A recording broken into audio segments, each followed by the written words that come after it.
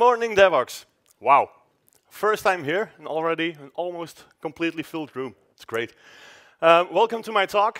Um, the talk is called Testing Done Right, From Bugs to Brilliance. Uh, so if you don't know how to test already, you have two choices. One, you can start learning right now, or you can start looking for another job. Now, of course, we're not only going to talk about testing, we're going to talk about software quality in general. So first of all, I'm going to talk about some pre prerequisites for quality. Then I'm going to touch one of the team best practices you can implement. And then obviously, we're going to talk about automated testing. Now, why should I be talking about automated testing? What was the, the reason that I started preparing this talk? Is that especially here in Belgium, I can't speak for other countries, most colleges where they teach programming courses or other organizations that teach programming courses, they treat testing like it's not that important. They just say like, hey, here, this is JUnit. Uh, you can use it for testing. This is an example of a unit test, and that's all they say about testing.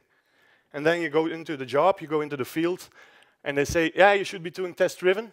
And uh, test what? So that's what I'm going to try to talk about today. Um, I'm, gonna, uh, I'm not going to tell you how you should be writing your tests but more about how you should be tackling your testing. Who am I? My name is Wouter. I work at the Beehive, a Belgian company, as full stack developer. Uh, I'm also a former lecturer at Karel de Grote Community College here in Antwerp. Um, yeah, I love Kotlin, but most of the time I'm writing Java. And yeah, because I'm talking about quality, for me, quality is the key to, to success. The QR code it's a, a link to Linktree where uh, I have put some of my socials and also my GitHub repository. Uh, so you can scan it. If you don't have your phone right now, I, it will uh, come back later in the slides. Now, quality. Why do we need quality? Yeah, we have, to we have to try to raise the bar every single day. First of all, we owe it to ourselves because, yeah, development is an art, and we should be proud of what we're doing. We also owe it to our company and to our customers or to the end users using the software that we're writing, because at last, they're the ones paying us. Now, how do we achieve software quality? Yeah, I already told, we are going to start with some prerequisites, and we'll explore two of them today. The first of them are good requirements. Now, to write code for our customers, we need to know what we should be writing.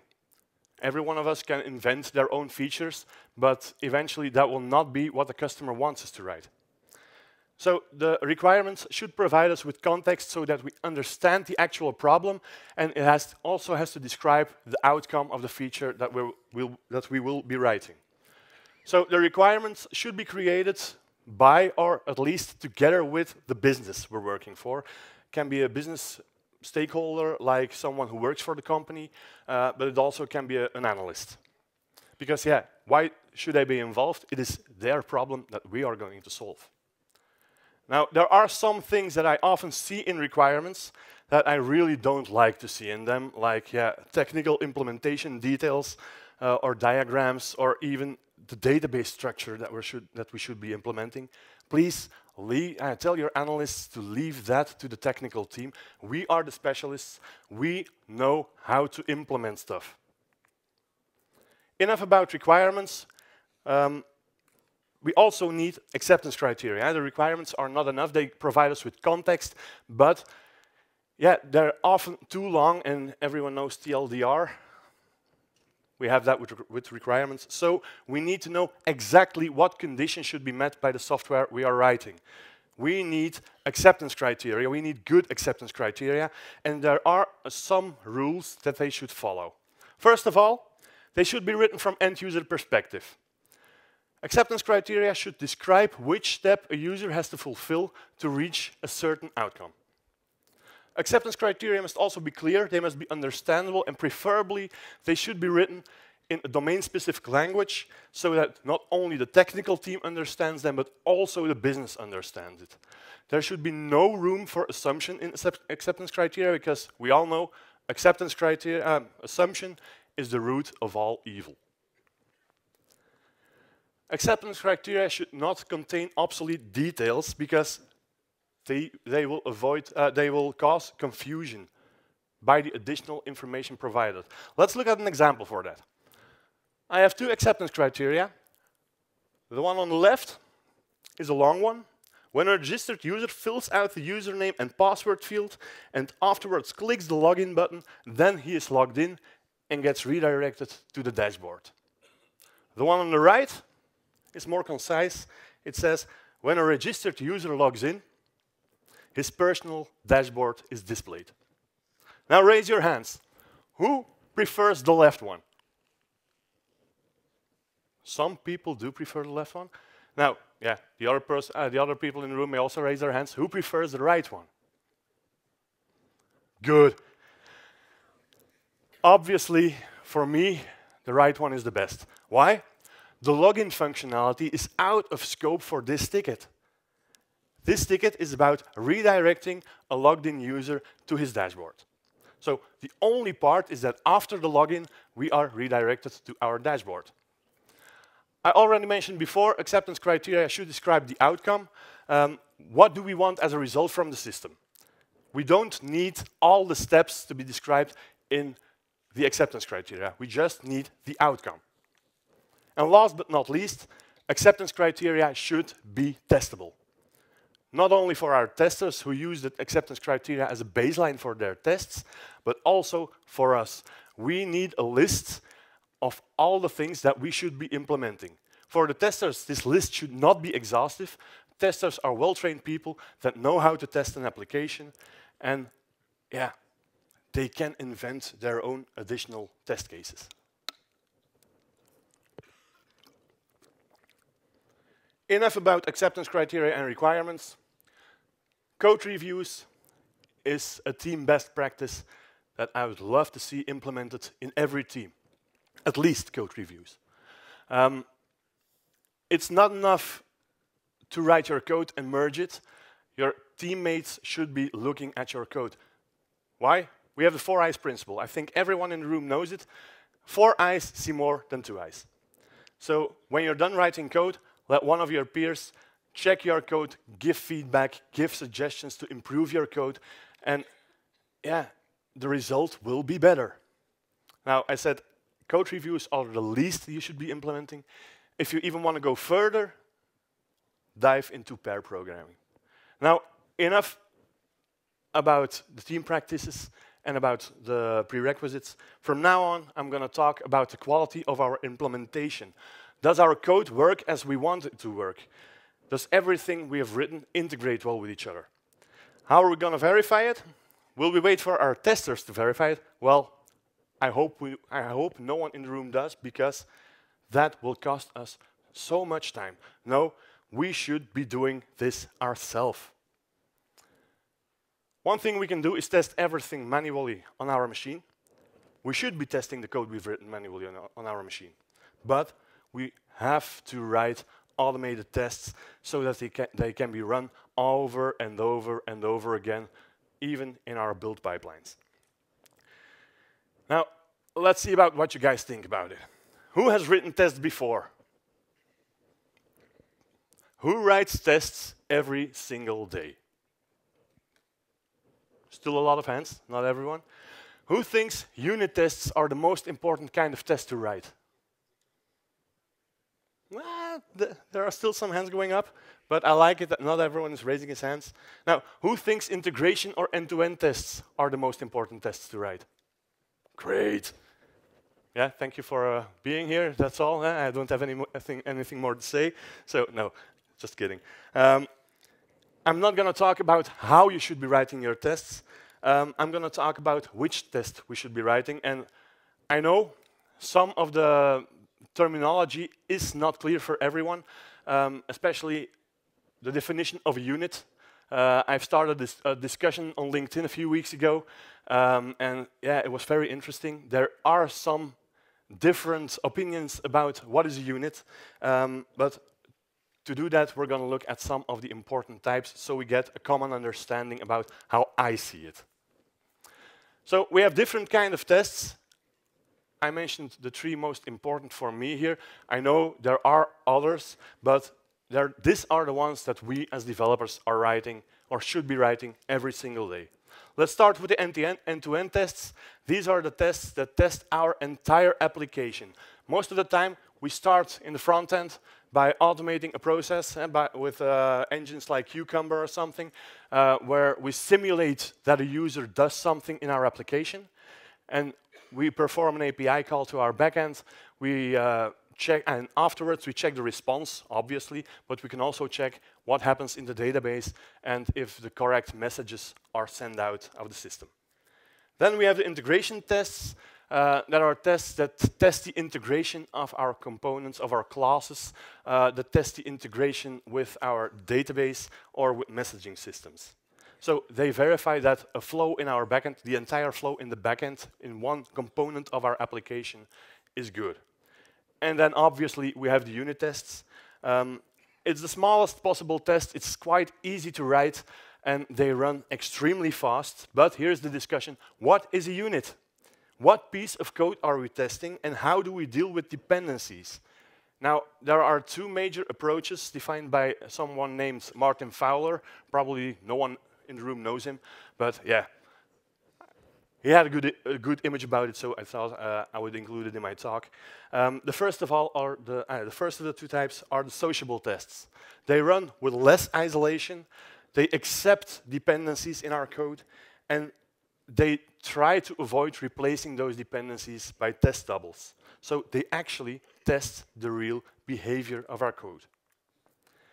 Then we have the solitary unit tests. That those are the isolated tests. They run each on their own, isolated from each other. Um, and most of the time, they replace all the dependencies with test doubles, like mocks and stubs with libraries uh, like Mockito or, or PowerMock. But yeah, they test the actual implementation of our class. Mark that I use the word implementation. They don't test the behavior. Now, which is best? Yeah, it's kind of a flavor. Uh, it also depends somewhat on the use case uh, of the class you're testing. Um, yeah, so both of solitary and um, sociable unit tests are kind of important. Now, there's one thing you should always try to avoid. It's a terrible disease. Uh, it's a disease called Mockitis. It's um, yeah, one of the most important symptoms of Mockitis is um, that you're mocking too much. Your mocking makes you depend on the specific implementation of your class, and it leads to when you start refactoring your code that a massive amount of tests will start failing. And one of the things you don't want when you're refactoring is that you have failing tests. Now, enough about the types of tests. Let's see at some approaches we can use to implement the features our customer wants. And let me start with the most important one, code first. Now, I hope everyone here heard the sarcasm in my voice. Code first is a thing you should always try to avoid. I know generative AI tools like uh, Copilot or the JetBrains AI, they provide the feature that you can generate tests from your code. But keep in mind, when the code you've written contains a bug, the tests that, you that the tool will generate will check for that bug to exist in your code. If you fix the bug, the test will fail. That's not a thing you want. Now, why should we still, uh, what are other reasons that we should be avoiding it? Well, if you're writing all your code first and then start testing afterwards, you will probably forget to test some parts of the code. Writing your tests first helps you to think about what you should be implementing. Now, let's look at a small example. It's a real-life example. I didn't invent this myself. It's a simple feature where you get the server time from the server. Sometimes, in some use cases, you need to keep your front end in sync, the clock of the front end in sync with uh, the clock of the back end. So it's an easy endpoint, a simple endpoint where you just return an instant, the current timestamp using a clock. Now, what the developer that, that was writing this has uh, delivered as a test was this one. The test succeeded, so it was green. The, the, the, build was okay, everything works fine. Eh, let's merge this. But this isn't testing what we wanted to test. We are testing the Java class instant, not our controller. So don't test like this. This is how the test should have been. Test that the controller is invoked and verify, validate the return value. Now, if you, we can't write our code first and the test afterwards, what should we be doing? Yeah, we should be writing our test first, and test first leads to test-driven development. Let's look at how this process works. First of all, it's a cycle. We can repeat the cycle over and over and over again until our feature is complete. The cycle is quite simple. It has three steps, red, green, refactor. Let's break them down for the ones who don't know them. First of all, the red is we start by writing a failing test. A test that you write should always fail because you don't have an implementation yet. And I've heard people say, but yeah, how can I run this test because it doesn't compile? Well, a compilation failure is also a failing test. Once you have the failing test, you can start writing the implementation. Write code just enough to make sure that your test passes and nothing more. Then we can go to the refactoring to improve our code. We can improve the naming. Uh, we can um, introduce some abstraction, abstractions or uh, even um, yeah, rewrite the code to use some design patterns. But as I mentioned before, the tests should keep working. If you're done, start over and write a failing test again. Now, we're testing, but which tests should, be, should we, we be writing? Um, most of us will know the testing pyramid. It's a very common shape. Um, it's a good base to start from. Um, it's a combination of different types of tests, and these are the tests that we as developers will be writing most of the time. I have to mention, a lot of teams, the end-to-end -end testing is done by test engineers. Now, how should uh, we decide how many of each type we should be writing? Well, if you look at the pyramid, you see at the base, it's wider than at the top. So we are writing, most of the time we are writing a lot of unit tests. Um, fewer integration tests and even less end-to-end -end tests. Why? It's quite simple. The higher we get in the pyramid, there are some things that are increasing. The cost for the test will increase because it takes longer to run them, but it also takes longer to write them. The higher you go in the pyramid, the complexer it gets to write the test. Now, there's also one good thing about getting higher in the pyramid. The higher we go, the more confident we can be that this test really checks that our code, that our application works. However, end-to-end -end tests, they are often based on uh, selectors by CSS classes or something. Um, when you change something in a CSS class, or change the name uh, in a refactoring and forget to update the test, yeah, then your test will obviously break. Now, test-driven development has some advantages. First of all, it makes sure that we have a better understanding of the problem and of the code that we are writing. Um, it also makes sure that we maintain a decent test, co test coverage, that we test enough of our code. Um, I, am not saying that we should be testing 100%, um, but we should uh, agree within our team uh, what is uh, the acceptable level that we should strive for. It also increases developer productivity, um, so it makes sure that we can implement new features faster because we understand the context of the, uh, of the problem and because we're cutting the, problem down in small pieces and small blocks, the implementation goes faster. Now, yeah, it also makes sure that our code is more maintainable, especially when we're writing good tests, because when we start refactoring, our tests should validate that our refactoring did not break the functionality. Now, obviously, there are some pitfalls. Um, the first is that it requires a lot of discipline. It requires discipline from every developer in the team because test-driven is something that you need to be actively doing.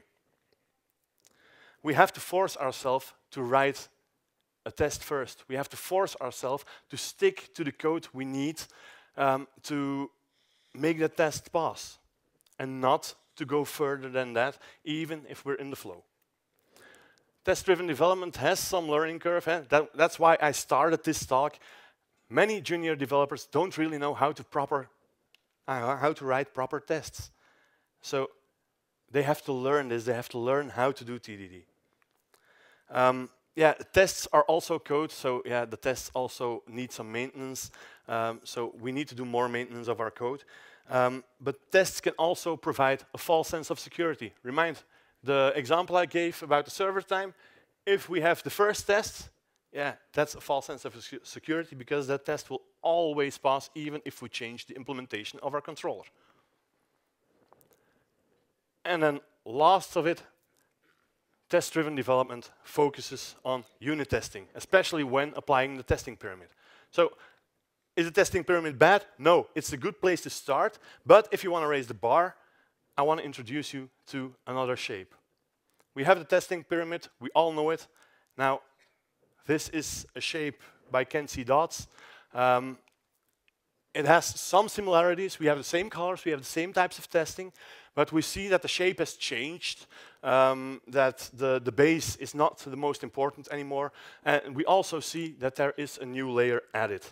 Um, let's talk about this layer, this new layer first, eh, about static testing. Um, don't be afraid, static, static testing is not about writing additional code. It's related to automated tools that most of us will already be using without even knowing it, except maybe the few in here that might be using VI as their preferred IDE. So the first of all is our Java compiler. The Java compiler verifies that our code is syntactically correct and that all classes that we use are available on the class path. Most IDEs also provide some spell checking or some, yeah, yeah, spell checking. Uh, grammar checking is not that important code. Um, this helps us to find typos in our code. Uh, this works especially good when you're writing code in English.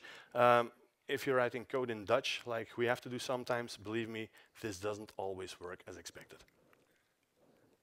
Then we also have linting tools, like for example ESLint in frontend, um, where we check that our code follows conventions, follows some predefined rules, um, or even some custom rules that we uh, created our own. And then the last one is Sonar Cloud. For example, Sonar Cloud or other providers available. Um, they run checks on our code, um, also by uh, predefined and custom rules uh, that we can turn on and off. And they, they discover complexity in our code, bad structure, even possible bugs. And one of the most useful, to, um, useful things is that they provide language migration aids. Um, for example, when uh, you're still writing Java 8 and you migrate to uh, Java 17 uh, gradually, some things have changed, some things got better, some things can be written more concise or more readable. Sonar Cloud will highlight them so you can take action. Now, the rest of the talk will be about testing, eh, even more but more in particular, integration testing. The testing trophy has more focus on more integrated tests. Uh, these tests can be both um, sociable unit tests or real integration tests where you integrate with your database. Um, so less focus on the solitary unit tests, more focus on more integrated testing. Uh, but why should we, should we be writing more integrated testing? Because it takes longer. Well, actually, they do speed us up. One test covers an entire path throughout our application. Integration tests or more integrated tests are also less prone to break when we start refactoring. When we're writing solitary unit tests, um, yeah, if we extract a piece of code to uh, another class or to a method, uh, another method in a class, um, our, our test will break because this behavior is not yet mocked. We have to mock it again. We are depending on our implementation. We're not validating our behavior. So if we are going to write integration tests or sociable unit tests, we are more gonna test the behavior, which is a good thing. Now, integration tests also help us um, detect issues with integrations with our database. Um, for example, you're developing against an in-memory H2 database, uh, and your production environment will run against PostgreSQL. Um, believe me, I've been there. It can be hard to make the switch, especially when you, uh, you start using specific syntax for H2, which isn't available in the database you're going going to use on production. Integration testing are also a great tool to reproduce bugs. I think everyone here ever had that the, the confidence that the code he delivered was very good, was quality, was perfect, was working perfect. The tester would not find any bugs, and then ding dong, the tester on the door. Hey, I found an issue in your code. Have you thought about this? Well, what should we be doing in that case? We write an integration test for that specific case that we write with the expected output, and then we can start debugging, um, we can start writing the fix, and we have that automated tests in our code base now, so we are sure that that specific bug won't return in the future. There's even more. However, we're already writing integration tests that focus on behavior. We can still do better. Therefore, we're now going to look at behavior-driven development a little and what it can do for us. Behavior-driven development not only involves the developers, it involves other stakeholders, like, for example, the testers, um, or even, and more important, the business. We need those acceptance criteria I talked about in the beginning of the talk. So we need our analyst or the business stakeholder to provide those acceptance criteria, criteria for us. And if, they, uh, if the business is not writing them themselves, they should at least validate the acceptance criteria that were written by an analyst. Because, again, they have to be happy with the feature. It is their problem we are solving. Now, this collaboration between the different stakeholders leads to an improved confidence in the team and within the team. Now, for behavior-driven development, the acceptance criteria are the starting point. Um, we will translate all those acceptance criteria in behavior tests that verify the behavior of that specific feature. We will validate it explicitly as it was described in the acceptance criteria. Another, another advantage of behavior-driven development can be that we can do it in a human-readable format, uh, like the syntax most of us know, the Gherkin syntax with keywords like given, when, then, uh, where we can formulate a readable, a human-readable acceptance criteria. We can translate that into automated tests. Now, here is the typical behavior-driven development cycle, and you see Test-driven development is still a part of it. Behavior-driven development is not a re uh, replacement of TDD, it's a match made in heaven. We should be combining them because this will skyrocket our quality. And obviously it will increase the team's productivity. How are we going to combine it? Well, on the right side, we have the test-driven development cycle, but we're going to start on the left by writing a failing feature test.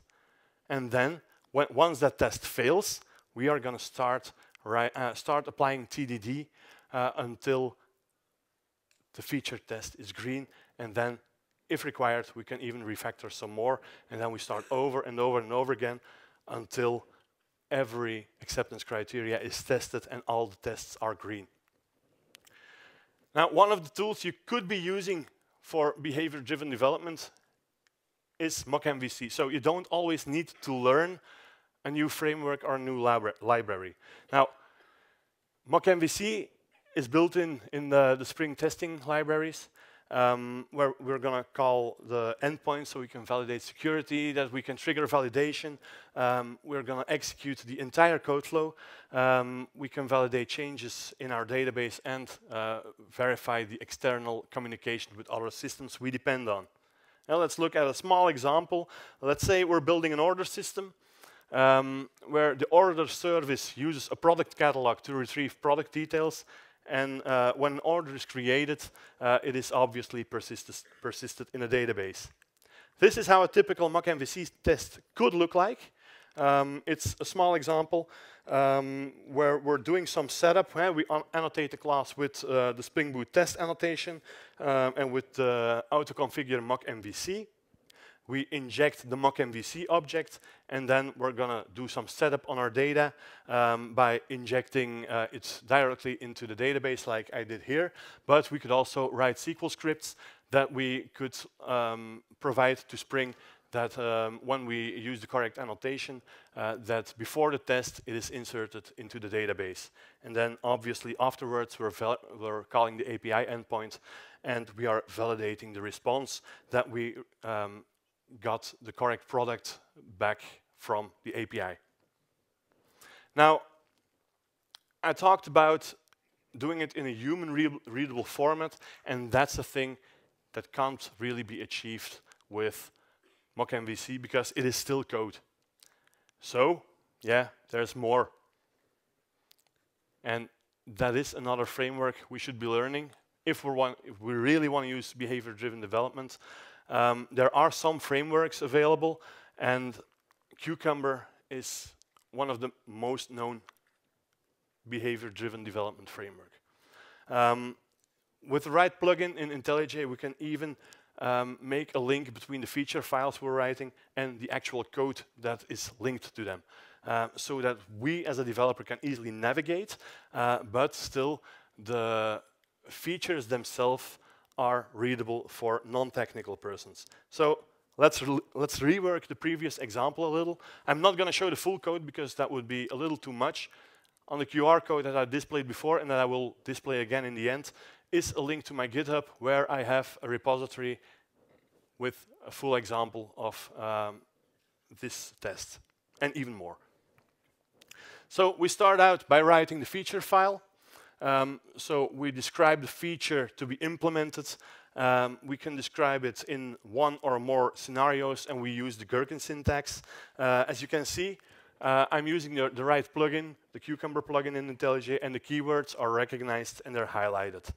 Um, so this example will be the retrieval of the product with a certain ID, and we expect that it matches uh, an existing product. So our application, our API call, should return the expected status code, but also contain the expected product. This is an example of how a step could look like. You see um, uh, the library contains some annotations where we just put some text in that matches uh, a part of our feature. And in this step, we implement the code specific for this step. What has to be done in this step? Um, so the Cucumber library will um, combine all those steps into runnable tests um, that by recognizing the feature files, by reading uh, all the, the lines of, the, of it, and looking up the right steps, and it weaves them together um, to make the full test run and it will um, check everything. this example, yeah, that's the actual retrieval of the product. Um, so we're using a REST template to call the API. Um, and one thing that is special, and yeah, it's a little getting used to, we have to pass the state between the different steps. Um, so here we are only performing the API call. We're not verifying anything. We're not checking for the status code. We're not checking for uh, what is in the response body. No, we're only doing the API call and some next steps, they will check for the status code and the actual body. Why do we do it this way? Well, we want to be able to reuse these steps. We want to avoid code duplication. We want to avoid that we have to write everything over and over again in every test we are writing. Now, as I said, the full code of this test is available on uh, GitHub, uh, so make sure you check it out. Um, but the next thing I want to show you is how this can help us to um, make it make the business understand that we are actually doing the right thing. Uh, with a little configuration, we can make Cucumber generate reports that are really readable and understandable for non-technical people. Uh, this is a small example of a feature um, where we are retrieving some products from the product overview. Um, and as you can see, I pass some examples uh, to the scenario. This test is run three times with the parameters given uh, below. And we always check for the correct behavior. Um, and in case of failure, it's also clear for us. It even gives us a partial stack trace so that we know what we should be looking for. Now, okay, everything fine. Uh, the testing trophy is good. Behavior-driven driven development is good, especially in simple projects. Now, most of us won't be working on simple projects all the time. We are often dealing with legacy code or with microservices applications. And how can we use the things I discussed earlier in such, uh, in such case? How do we tackle this? Let's start with the easy part, the individual microservices. Um, yeah, each microservice should have its own test suite. And we can apply the testing trophy to every single microservice. We can apply behavior-driven development to every single microservice. But how do we test the integration between services? Because, yeah, that's kind of the most crucial part in microservices. So testing this is really necessary, but it can get quite complex. I've extended the previous example a little bit. Eh? Once an order gets created, uh, it's not only persisted in the database, we also send out a message to the warehouse system, which does his own things with it. Uh, for example, it can check that uh, the products that were ordered are available uh, or that the stock should be replenished. Um, but also, yeah, the order will be persisted in the database for the warehouse. Um, yeah, if we want to test this, that can be quite hard. Um, we want to test that when an order is created, not only the order is persisted in the da database of the order system, but we also want to know that the warehouse system receives and processes the event correctly. Um, yeah, the, the test setup, we could do it with end-to-end -end tests. That's possible because, yeah, when using end-to-end -end tests, we're most of the time running the tests against uh, an, a cloud environment, an online environment, or on an on-premise server. So we have an environment to test for. Um, but yeah, here we have to think about what happens when something goes down. How do we deal with outages? How do we deal with bad network performances, especially when you're in a conference? Um, and how do you deal with the setup of your test data? And how do you deal with the cleanup when everything is spread out to multiple microservices? In my opinion, there is no one-size-fits-all solution for this. Um, so it's up to the team you're working in to decide how you should be tackling it. Um, one thing that could help uh, is contract testing. Um, it's not a thing that I'm going to elaborate on.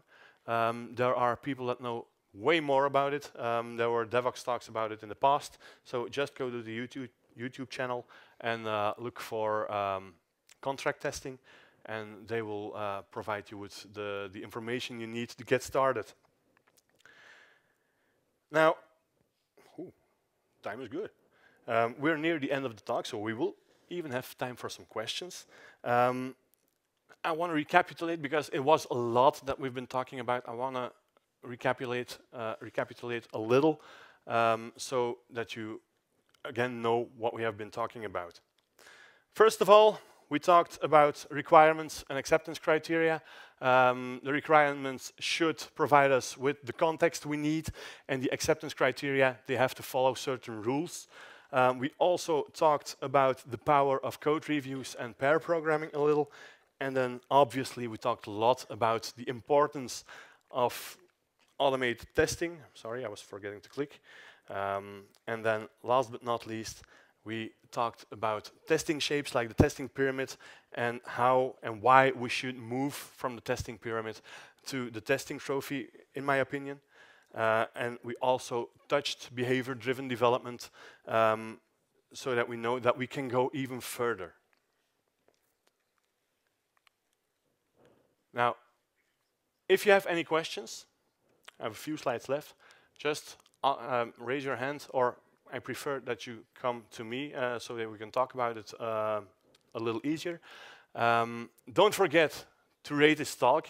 Uh, it was my first time speaking on a conference like Devoxx, uh, so I have a lot to learn, I know, but your feedback is of such high value for me. So please rate and uh, rate the, uh, the talk in the app and provide me with some feedback. If you want to talk to me some more, if you have some points that I have to look out for, just come over or talk to me in the hallway. Uh, I'm happy to learn from you guys also. And as promised, once more, the QR code. Um, you can scan it. Um, if you don't have uh, the time right now, or you have to run to the, to the toilet, yeah, it will also be visible in uh, the slides. And last thing I have to say is really thank you for being here, thank you for your attention, and I hope you enjoyed it.